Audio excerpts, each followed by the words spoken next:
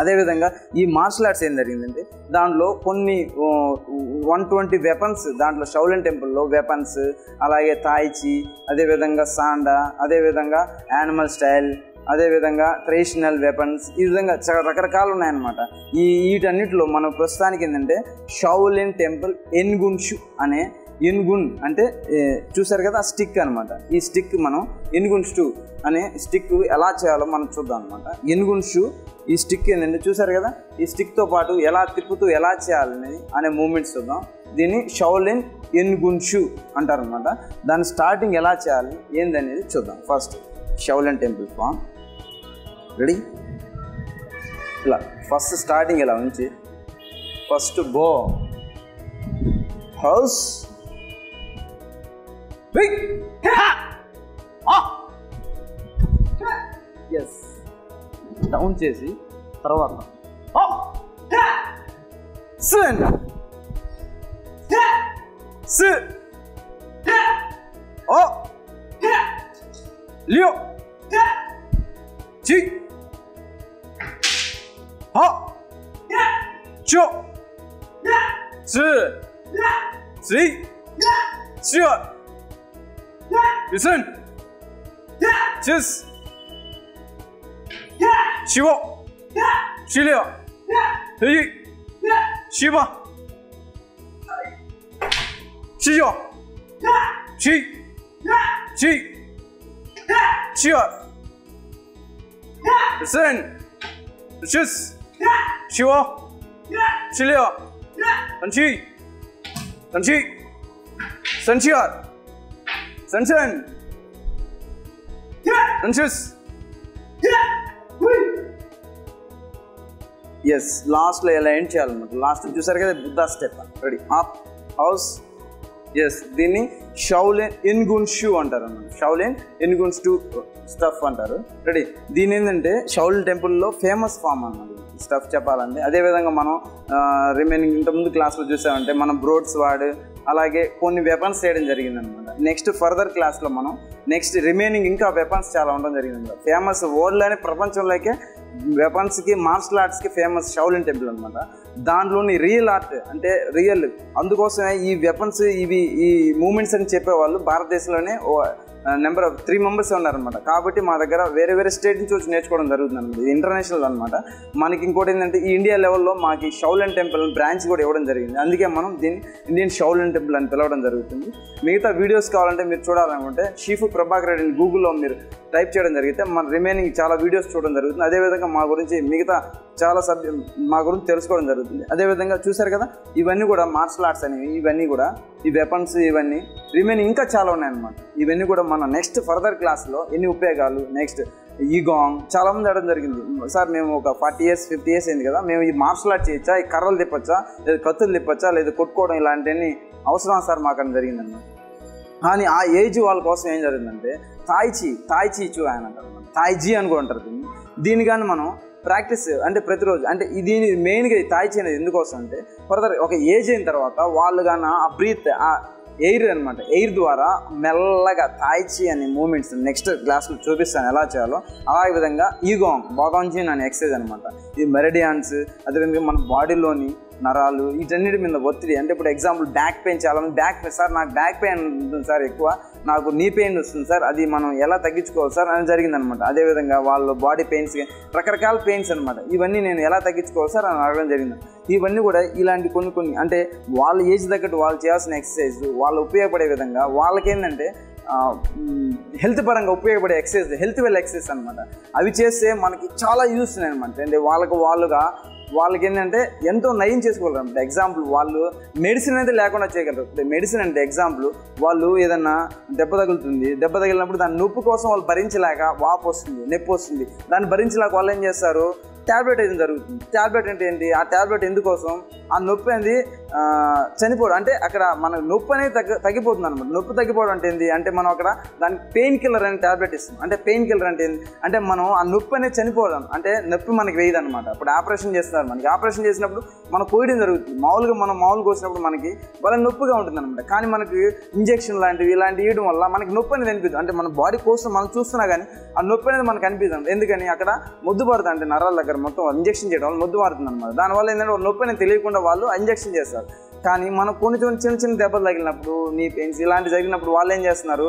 ఆ నొప్పి కోసం వాళ్ళు అంటే శాశ్వత పరిష్కారం చూసుకోవట్లేదు వాళ్ళు. శాశ్వతంగా దాన్ని మనం తగ్గించుకోవాలి అనే మైండెడ్గా ఉండట్లేదు.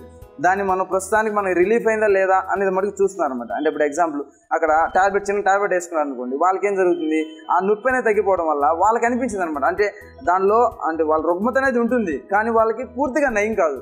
అలా అలా ఏంటంటే వాళ్ళు నొప్పి ఎప్పుడు వస్తుందో ఆ టాబ్లెట్కి లోన్ అవుతారు. అంటే మనకి ఆ టాబ్లెట్ వేస్తేనే మనకు తగ్గుతుంది అని మైండెడ్గా వాళ్ళు సెట్ అయిపోతారు అనమాట ఒకటేం జరుగుతుంది? ఇక్కడ టాబ్లెట్ వేయడం వల్ల ఏం జరుగుతుంది అంటే ఇంకోటి ఇంకోటి తగులుతుంది మనకి సైడ్ ఎఫెక్ట్ వస్తుంది. ఇప్పుడు ఎగ్జాంపుల్ వాళ్ళు జలుబు టాబ్లెట్ వేసారు అనుకోండి దానివల్ల దగ్గు వస్తుంది దగ్గుకు వేసుకున్నారు అనుకోండి దానివల్ల హెడేక్ వస్తుంది. హెడేక్ వేసుకున్నారనుకోండి దాని ద్వారా స్టమక్ ఎక్ వస్తుంది. స్టమక్ ఎక్స్ దగ్గర వేసుకున్నారనుకోండి తర్వాత వాళ్ళు వాంతింగ్స్ అని ఫీవర్ అని రకరకాల అనమాట ఇప్పుడు ఎగ్జాంపుల్ ఒకదాని నుంచి ఇంకోటి అటాక్ అవుతుంది. అంటే మెడిసిన్ అనేది ఏంటంటే మనం మనిషి ఏంటంటే మెడిసిన్ శాతాన్ని తగ్గించుకోవాలన్నమాట. వాళ్ళ రిసెన్స్ పవర్ పెంచుకున్నారనుకోండి మనం మెడిసిన్ వాడాల్సిన అవసరం లేదు. మెడిసిన్ దగ్గరికి వెళ్ళాల్సిన అవసరం లేదు. మనలో రెసిస్ పవర్ రెసిస్టెన్స్ పవర్ మనం ఫిజికల్గా కష్టపడినప్పుడు మనం ఏం చేయాలంటే మనం వాళ్ళు చాలామంది ఏంటంటే వాళ్ళు మేము భరించలేము మేము ఇవి చేయలేము అందుకే నేను టాబ్లెట్ వేసుకుంటాను ఇదే అని వాళ్ళకు వాళ్ళు ఏం చేస్తున్నారంటే వాళ్ళ వాళ్ళు రెసిస్టెన్స్ పవర్ వాళ్ళకు వాళ్ళు తగ్గించుకుంటున్నారనమాట వాళ్ళకు వాళ్ళు ఆ, కష్టపడేది అనేది ఏంటంటే మనస్తత్వం ఉండట్లేదు అనమాట దానివల్ల ఎన్నో నష్టాలు నాకు చెప్పాలంటే.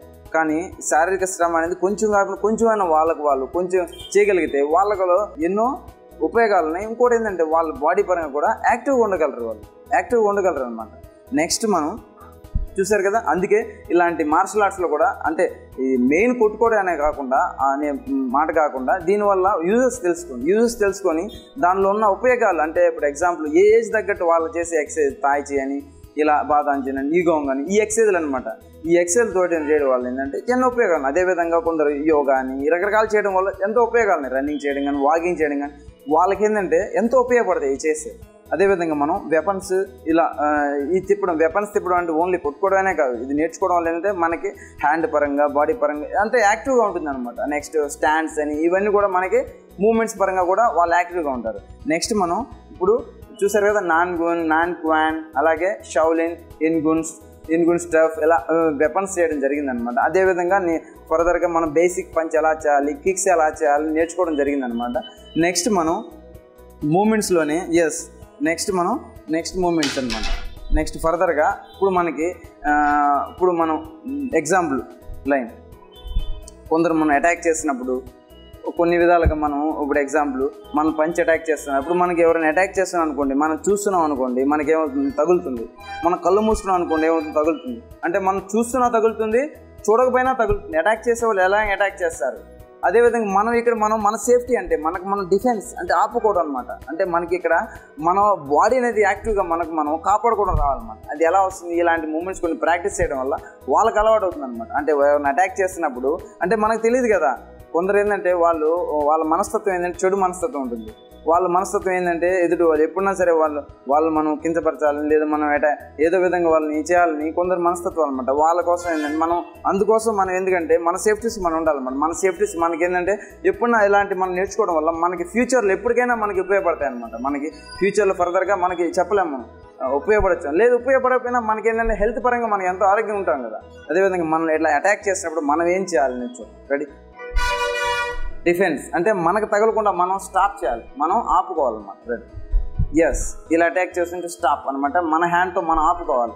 ఇలా ఆపుకోవడం మనకు తగులుతుంది అనమాట అంటే మనం ఇలా సైడ్ నుంచి అటాక్ చేస్తున్నప్పుడు అటాక్ ఇలా అటాక్ అంటే డిఫెన్స్ నెక్స్ట్ ముందుకు అటాక్ చేస్తుంది. Straight point yeah next this hand చేయండి బాగా కనిపిస్తుంది. ఎస్ స్టాప్ చూసారు కదా? అంటే స్ట్రైట్గా చేసినప్పుడు కిందకి బ్లాక్ చేయాలి. సైడ్ నుంచి అటాక్ చేసినప్పుడు. ఎక్కువ మంది సైడ్ నుంచి ఎగ్జాంపుల్ ఇలా ఇలా కొట్టడం ఇలా కొట్టడం జరుగుతున్నప్పుడు మనం ఏంటంటే మన హ్యాండ్స్తో మనం సేఫ్గా మనం సేఫ్ చేసుకుంటాం. ఎస్ చేసి వెంటనే మనం ఏం చేస్తామంటే జస్ట్ లైక్ లాక్ చేస్తాం. బ్లాక్ రెడీ స్టార్ట్ చేసి. ఎస్ చూసారు కదా? అంటే మనం వాళ్ళని ఎక్కువ అటాక్ చేయట్లేదు. సెన్సిటివ్గానే మనం లాక్ చేసి పెడతాం. ఎస్ చేసి జస్ట్ లైక్ మనం వెళ్ళి ఇలా లాక్ చేయడం. మన హ్యాండ్స్ ఇలా పెట్టి ఇలా లాక్ చేయడం. ఎస్ అగైన్ ఇంకోసారి చూపిస్తాను. ఎస్ యా గుడ్ ఇంకో విషయం ఇంకో డౌట్ రావచ్చు మీకు. ఇలా అటాక్ చేసినప్పుడు మనం ఇలా వెళ్ళేటప్పటికి ఆయన ఆ చేత్తో కొట్టచ్చు కదా అని. కరెక్ట్ నిజమే. కానీ మనం యాక్టివ్గా మనం ఫాస్ట్గా చేసినప్పుడు మనమే అవుతాం. కానీ మనం లేజీగా చేసాం అనుకో నాలో వాళ్ళు యాక్టివ్గా మనం అటాక్ చేస్తారు. కానీ మనం ఇంకా ఫాస్ట్గా చేయాలి. ఫాస్ట్గా వెళ్ళి block ready yes block next అదేవిధంగా నెక్స్ట్ యా అటాక్ చూసారు కదా? ఎస్ ఎస్ మన ఓపెన్తో అటాక్ ఇక్కడి నుంచే మనం ఈ లాక్ చేస్తాం లాక్ మూమెంట్ అటాక్ మూమెంట్ అనుకుంటే ఇక్కడి నుంచి అటాక్ చేయొచ్చు. ఇలాగే అటాక్ చేయొచ్చు. ఎస్ నెక్స్ట్ ఎస్ డౌన్లో అటాక్ చేయొచ్చు. చూసారు కదా? ఈ విధంగా అటాక్ చేయొచ్చు. చూసారు కదా? ఈ విధంగా అటాక్ చేయొచ్చు. నెక్స్ట్ చూసారు కదా? నెక్స్ట్ ఇక్కడి నుంచి వెళ్ళి జస్ట్ లైక్ బ్లాక్ చేసి పడేయచ్చు కూడా. ఇక్కడ చూసారు కదా? సేమ్ అటాక్ ఎన్ని అటాక్స్ చేయొచ్చు చూడండి అటాక్ చేయొచ్చు yes next same attack next ఇలా చేసినప్పుడు జస్ట్ ఇక్కడ నుంచి వెళ్ళి జస్ట్ సేమ్స్ టు ప్లేస్ ఇలా అటాక్ చేయొచ్చు ఇలా గట్టిగా మనం అటాక్ చేసినప్పుడు వాళ్ళు గాలి ఎగరడం జరుగుతుంది అనమాట గట్ ఈ హ్యాండ్ ఓపెన్లో ఎస్ దాన్ని ఇలా అటాక్ చేస్తే వాళ్ళకు వాళ్ళు ఎగురుతారు ఎట్లా ఎస్ అటాక్ నెక్స్ట్ డౌన్ చూసారు కదా? అటాక్ నెక్స్ట్ నెక్స్ట్ ఫర్దర్గా నెక్స్ట్ అటాక్ నెక్స్ట్ ఈ అటాక్ చేసినప్పుడు జస్ట్ లైక్ చూసారు కదా? మనం వన్ టూ అదేవిధంగా ముందుకు అటాక్ చేయడం జరిగింది. అదేవిధంగా మనకి లాక్ చేయడం కూడా చూపించాను ఇంతకుముందు మీకు చూపించాను. చూడండి అటాక్ అటాక్ లెగ్తో అనుకుంటే చూడండి అటాక్ అంటే మనం స్టాప్ చేసి ఇక్కడ క్యాచ్ చేసి అటాక్ అంటే ఇక్కడి నుంచి మనం అటాక్ చేయొచ్చు అనమాట. నెక్స్ట్ అదేవిధంగా కిక్స్ చూసుకున్నట్లయితే లైక్ దిస్ అటాక్ అటాక్ చూసారు కదా?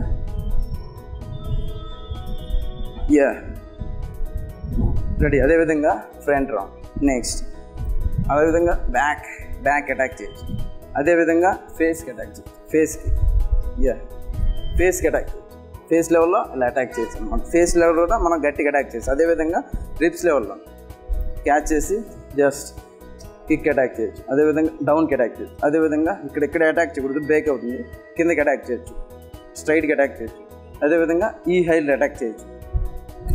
నెక్స్ట్ అదేవిధంగా మనం లాక్ చేసుకొని వాడి చూసారు కదా? Just like. Yeah. Next again చూడండి. లాక్ చేసి మనం ఇక్కడ పట్టుకొని జస్ట్ రొటేట్. ఇక్కడ రొటేట్ చేయాలి. యా. ఎస్ ట్విస్ట్ చేసి జస్ట్ లైక్. చూసారు కదా ఇంకా గట్టిగా అనకూడదు అనమాట. అంతకన్నా గట్టిగా అన్నప్పుడు బ్రేక్ అవడం జరుగుతుంది. అందుకే మనం లాక్ ట్విస్ట్ ట్విస్ట్ చేసి జస్ట్ లైక్ ఇక్కడ లెగ్ లాక్ చేసి పెట్టాలి. చూసారు కదా ఇక్కడ లాక్ చేసి పెట్టి పుష్ ఇలా గట్టికి ఇంకా అన్నారంటే ఇంకా పవర్ ఉంటుంది. చూడండి మెల్లగా చేస్తాను. ఎస్ ఇలా పట్టుకొని ట్విస్ట్ రొటేట్ చూసారు కదా అగైన్ వన్ టూ యా అంటే కదలకుండా వాళ్ళని ఇంకా మనం పవర్గా చేయొచ్చు. పవర్గా చేశారంటే ఇంకా పవర్ అప్లై రెడీ చూడండి మెల్లగా క్యాచ్ చేయాలి. ఫస్ట్ మనం తగలకుండా ఫస్ట్ మనం ఇంత వరకు మనం డిఫెన్స్ చేసాం. ఇప్పుడు మనం క్యాచింగ్ చేస్తున్నాం. క్యాచింగ్ చేస్తున్నాం. క్యాచింగ్ చేసి చూసారు కదా? రన్ చేసి లాక్ చేసి జస్ట్ లైక్ మూవ్ చేస్తాం. చూసారు కదా? చూడండి ఇలాగే చూడండి. యా గుడ్ అగైన్ ఇది తిరగండి. ఫస్ట్ క్యాచ్ చేయాలి. యా క్యాచ్ చేసి రొటేట్. ట్విస్ట్ చేసి లాక్ చేసి యా ఈ విధంగా. గట్టిగా ప్రెస్ చేసి ఇంకా పవర్ అప్లై అవుతుంది రెడీ ఈ విధంగా ఇలాంటి టెక్నిక్స్ అన్ని కూడా నెక్స్ట్ ఫర్దర్గా మనం ఈ ఆరోగ్య మహాభాగ్యం ద్వారా మీరు కూడా కొంచెం ఇన్స్పైర్ అయ్యి కొంచెం ఫిజికల్గా మీరు కూడా తయారవుతారని కోరుకుంటున్నాను. ఈ ఆరోగ్య మహాభాగ్యం ప్రోగ్రామ్ ఇంతటితో సెలవు. నమస్తే.